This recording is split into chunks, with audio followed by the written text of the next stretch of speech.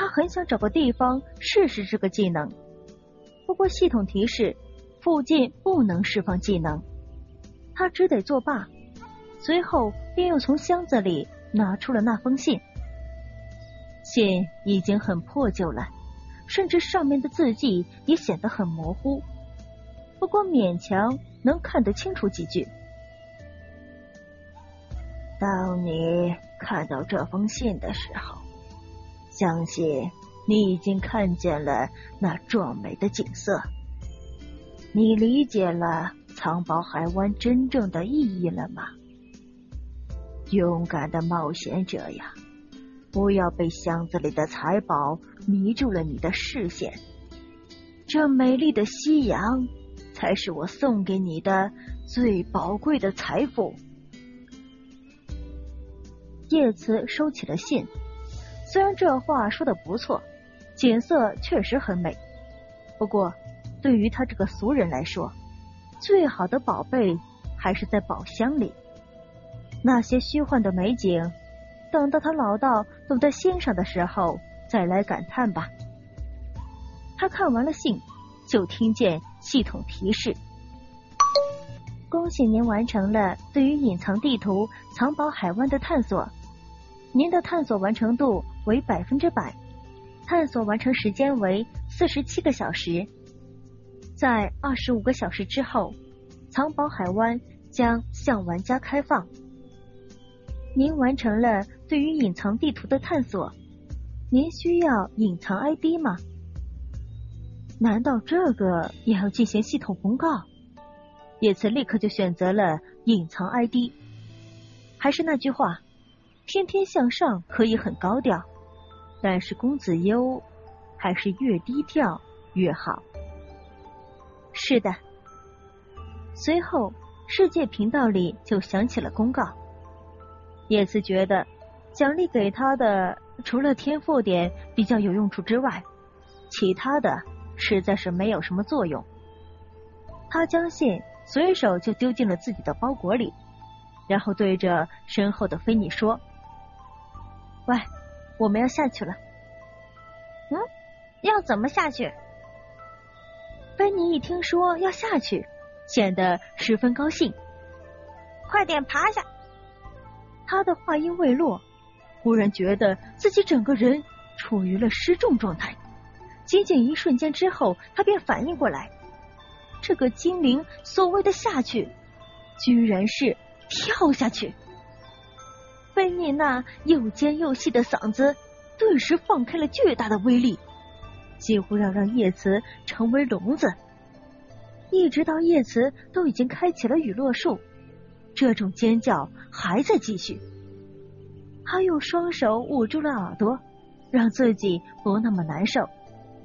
然后他整个人就像是一片羽毛一样，轻飘飘的落在了地上。可是菲尼。还在继续尖叫个不停。叶慈解开了绳子，将它放在了地上之后，掏出了一壶清水，碰了碰菲尼捂住双眼的手臂。口渴不？啊啊，谢谢。菲尼暂时放下了双手，接过了水，咕咚咕咚的灌了一气之后，很有礼貌的将水还给了叶慈，接着。还想继续尖叫，叶慈连忙开口阻止。已经落在地上了。菲尼愣了愣，这才发现，他以一种不可置信的目光看着叶慈。嘿，精灵，我们居然没有被摔死！叶慈刚想回答，忽然就听见一阵砰砰砰的敲击声从遥远的天边传来。这当然不是雷声，而是，而是，他还在想这是什么声音，就听见游戏舱系统报警说，有人外力敲击机器，为了避免您在游戏中出现任何损失，请尽快安全下线。叶慈一听这话，也不跟菲尼继续废话了，连忙就下了线。才刚刚打开游戏舱，他就看见白墨那张焦灼的脸。怎么了，白墨？你现在在什么地方？为什么联系不到你？快点来冰冷废墟后城的副本门口。怎么了？天天向上被人袭击了。冰冷废墟后城五十人副本，迄今为止通关这个副本的有两个工会。第一，大唐；第二，天天向上。不过。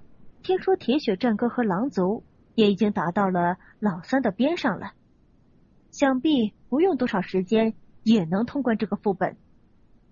现在各个工会都是憋着一口气打通这个副本的时候，天天向上却连着两天拿下了两个五甲，这让其他工会多少有点压力，特别是在这天一大早。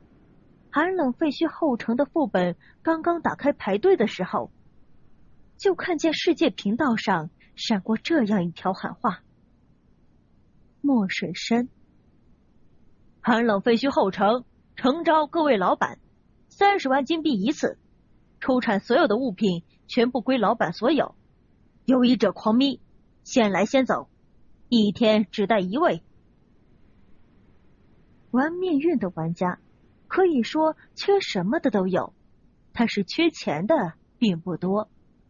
自从游戏开展了和现实币兑换之后，更是有很多大的财团入驻这个游戏，更不要说还有很多钱多的都没处花的富二代，在游戏里更是比比皆是。对于富二代这种群体，如果不是自己像是铁血战歌那样投入一个团队的话，他们倒是更喜欢这样的金团，只要花很少的钱就能换到全套的装备，这可比跟着团队慢慢打爽快多了。当然，一次副本里不可能将一身装备全部出完，不过就算十次能全部出完，也不过是三百万金币，十天的时间，折算下来还是十分划算的。所以，当墨水深的喊话才刚刚标出来的时候，他的私人频道立刻就爆掉了。咪他的有钱人几乎都要排队了，而三十万金币的价格很快就水涨船高，涨到了五十万。在价格终于飙到了六十万金币的时候，墨水深接下了一个玩家的单子，按照约定俗成的规矩。在进副本之前，老板要先付一半的定金，用于团队运营的费用。等到副本打穿之后，会将后面的钱全部付掉。这天真是一个奇妙的时候。这一天是天天向上第一次打金团，所有的团员都很激动。根据墨水深对于这些玩家的了解。他们很多人在现实中过得并不是很如意。现在，要是能在游戏里再拿到一份工资的话，会让他们很是满足的。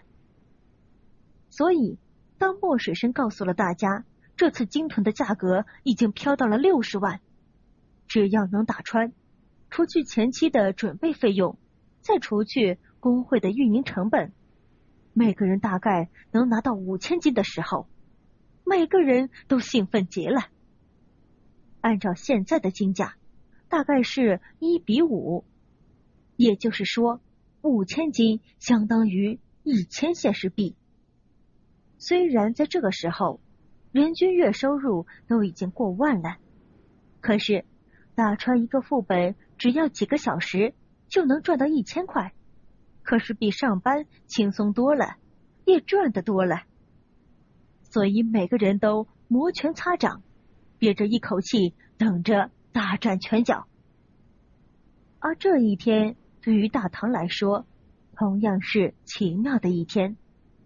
除了第一次打通关副本之后，他们不知道是运气的缘故还是配合的缘故，居然整个团队卡在三号 BOSS 了，一连试了很多次都不见能过。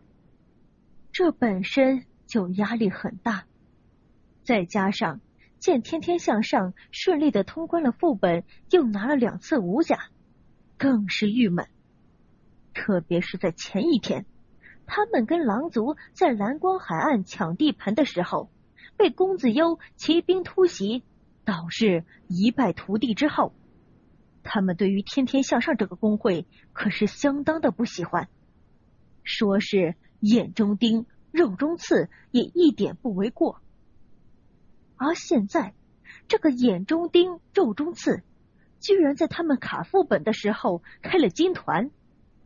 这让大唐玩家那焦躁入伙的心里怎么能不火上浇油呢？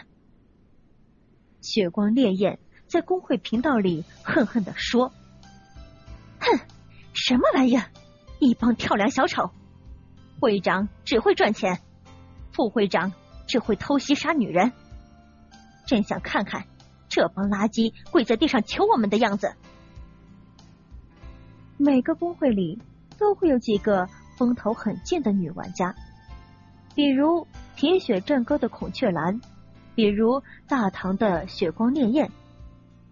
他由于加入大唐的时间很早，又算是主力牧师，再加上也将自己的照片贴在了工会论坛上，颇有几分姿色，所以在大唐的工会里是属于接待管理。几乎每个来大唐语音系统串门的人都听过他那动听的声音，让他在玩家里的声誉很高。虽然现在网络游戏已经普及了，女性玩家日益增加，再也不会出现原来那种女性玩家比真金白银还珍贵的情况。可是，女性玩家还是吃香的，只要稍有姿色。身边都会有那么几个或真心或假意的支持者，更不要说像是血光烈焰这样，在游戏中、在公会中很有声望的女玩家，为他雄性荷尔蒙上升而冲冠一怒为红颜的清纯激情少年，还是有很多很多的。所以在血光烈焰的这句话之后，大唐的几个愣头青小伙子。真是去了寒冷废墟后城副本门口，看见了天天向上的人，举手就杀。这个时候，在副本门口集合的天天向上玩家，可都是工会里的精英。他们不但配合好，装备也很好。这么莫名其妙的被人袭击了，自然不能善罢甘休。一边喊话问这是怎么回事，一边还手。说起来，这些愣头青也嘴贱。你说打就打呗，你打完就闪呀，人家还能追着你不放。可是这几个偏要回话，哼，打的就是你们这些天天向上的垃圾。谁愿意被称为垃圾？大概没有人愿意。他们这么一说。原本还只是打算玩玩的天天向上的成员也上了火，仗着人多装备好，蹭蹭蹭将这几个愣头青全部给干掉了。这几个愣头青怎么能就此罢休呢？立刻在工会里将这件事情添油加醋的说了一通，顿时工会里昨天今天的新仇旧恨掺合在了一起。立刻全心激动，恨不得上去将天天向上所有的人全给灭了。这个时候，黑夜白昼不在，主事的是悠悠飞云。虽然他还是很忌惮公子悠那次说的秘密，不过此时此刻，他也不可能因为自己的私心就将这事按下去。他知道。要是现在他将这事按下去，只怕跟谁都不好交代。只好私下问了一个挂掉的玩家公子优有没有在场。在得知没有在场之后，便带着大部队的人赶往寒冷废墟后城堵人去了。不过时间有些不巧，他们到的时候，得到了胜利的天天向上。已经带着老板进了副本，这一进副本就是几个小时。大唐在副本门口扑了一个空，这怎么能够善罢甘休呢？便四散开来，在这块地图上，只要看见天天向上的玩家，那就赶尽杀绝。这大概是墨水生下的最揪心的一个副本了。这边他们在副本里打金团，那边大唐在杀自己工会的人，无论大号小号，一律不放过。这着实让他十分恼火。最后，他发出了命令。所有人全部待在工会驻地，不要练级，也不要出来做任务。一切事情等精英团出副本再说。这个时候，在副本里的所有天天向上成员心里都憋着一口气。这叫什么一回事？他们人人都知道，出去就要血战一场，可是没有一个怯场的。甚至有很多人已经按耐不住了，所以这次副本居然打得出奇的顺利，乐的老板嘴都合不拢。虽然三个 BOSS 放倒之后只出了他的两件装备，可是他还是跟墨水生定好了，第二天继续刷这个本，甚至连第二天的定金也付掉了。天天向上的人。因为心里有事情，并没有在副本里多加纠缠，只留下老板在后面慢慢收装备，就集体出了副本。